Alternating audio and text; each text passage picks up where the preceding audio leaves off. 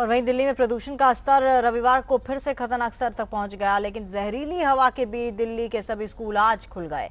हालाँकि गुरुग्राम के स्कूल आज भी बंद रखे गए हैं। पिछले पाँच दिनों से प्रदूषण के चलते स्कूल बंद किए गए थे। प्रदूषण का स्तर बढ़ने से हवा और जहरीली हो गई है। दिल्ली सरकार के एक अधिकारी ने बताया कि अब और छुट्टियाँ नहीं की जाएँगी। गौरतलब है कि पिछले एक सप्ताह से दिल्ली में घना धुंध और धुआँ छाया हुआ है, जिससे लोगों को सांस लेने में तकलीफ़ हो रही है। हवा जहरीली होने पर आनंद फानंद सभी स्कूल बंद कर दिए गए हैं और धुंध की वजह से यातायात पर भी काफ़ी असर पड़ रहा है। आज धुंध के कारण करीब उनहत्तर ट्रेनें लेट हुई हैं। इसके अलावा 22 ट्रेनों का समय बदला गया है। आठ ट्रेनों को रद्द कर दिया गया है।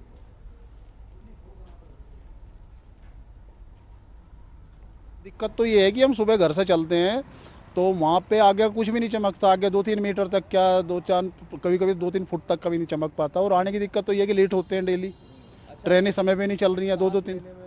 हाँ सांस लेने में हाँ आते अब तो कुछ कम है खैर दो तीन दिन से और नहीं तो बड़ी परेशानी होती है सांस लेने में भी। विजिबिलिटी बहुत लो हो चुकी है हम ज़्यादा दूर तक देख नहीं पा रहे हैं।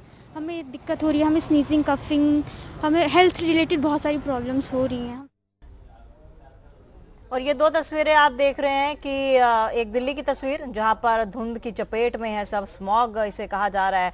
और दूसरी तरफ़ आप तस्वीर देख रहे हैं लुधियाना की जहाँ पर एक बार फिर से स्मॉग है और आप देख सकते हैं विजिबिलिटी काफ़ी कम है। अगर दोनों शहरों की बात करें, लुधियाना की और दिल्ली की तो दोनों प्लेन एरियाज़ हैं, दोनों लुधियाना भी एक तरफ़ इंडस्ट्रियल एरिया है, वहाँ पर भी पॉल्यूशन का स्तर ज़्यादा ही रहता है। और एक तरह से दोनों शहरों को फॉग ने अपनी चपेट में लिया हुआ है। दिल्ली की अगर बात करें तो दिल्ली के स्कूल जो हैं पाँच दिनों बाद खुले हैं। नोएडा के कई स्कूलों में समय बढ़ा दिया गया है। आज 10 बजे से ये स्कूल खुलने थे जबकि आम आ, आम दिनों में ये स्कूल 9 बजे खुलते हैं लेकिन स्मॉग के मद्देनजर 10 बजे आज स्कूल का टाइम किया गया है। और दूसरी तरफ़ लुधियाना की तस्वीर आप देखिए विजिबिलिटी काफ़ी कम हेडलाइट से लाकर लोग चल रहे हैं। और ये आप तस्वीरें दो शहरों की देख रहे हैं।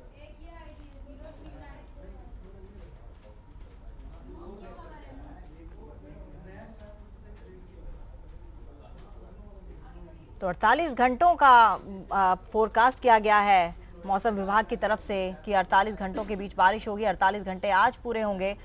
हालाँकि उत्तराखंड में आज बारिश के आसार हैं, लेकिन दिल्ली में बारिश होगी कि नहीं, ये अभी देखना होगा।